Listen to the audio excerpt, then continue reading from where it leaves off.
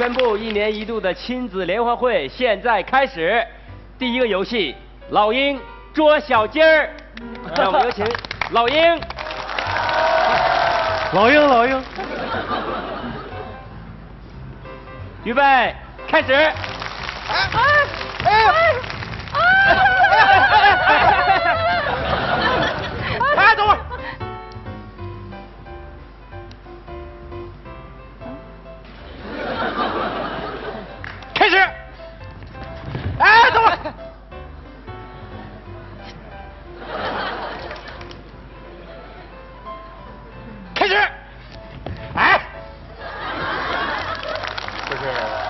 说这位家长同志，咱们玩归玩，能不能别老吧唧妈妈哭吧？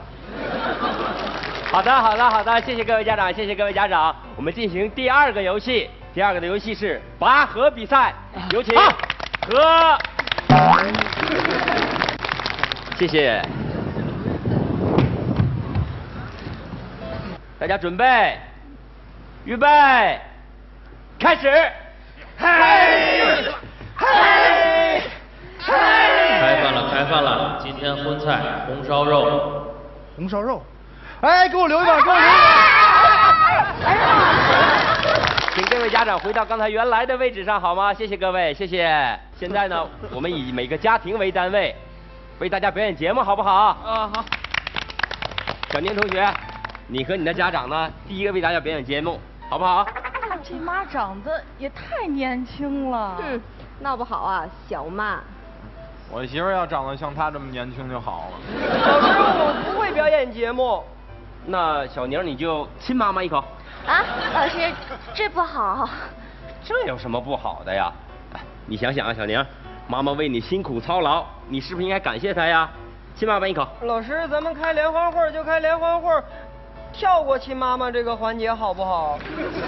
小宁，这就是你的不对了啊！这就是你们平时啊缺乏沟通。你想想，人家外国的小孩上学放学都会亲妈妈呢，为什么呢？这是表示关心和爱。去。亲妈妈，亲妈妈，亲妈妈，亲妈妈，亲妈妈，亲妈妈。我不亲，谁爱亲谁亲。我来。好的，好的，好的啊。呃，既然呢小宁这么腼腆的话，我们就换一个。呃，这样吧，小宁，你把老师昨天留给你的作业，我帮爸爸妈妈做家务的作文，给大家读一读，好不好？好。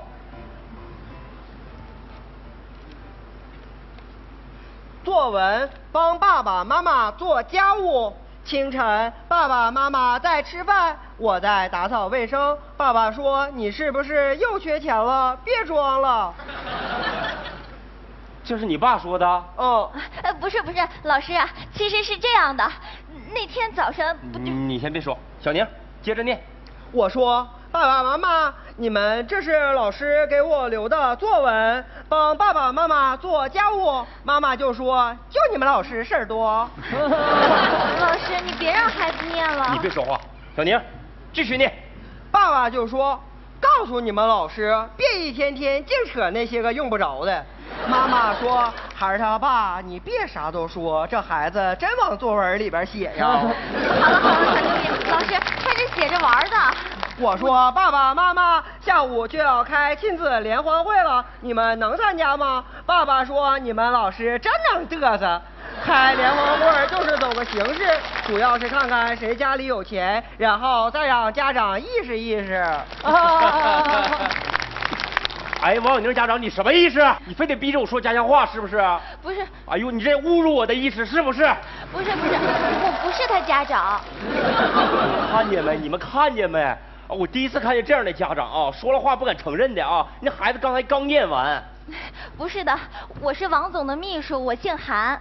对他根本就不是我妈，他是我爸的秘书。我妈妈总不在家，我妈一不在家，他就上我家来。哎呀，这位秘书啊，我告诉你啊，家长会是老师和家长之间的沟通，你知道不？是是是，这样，等我安排一个场面，请您吃饭。行了，你别跟我唠了，散会。嗯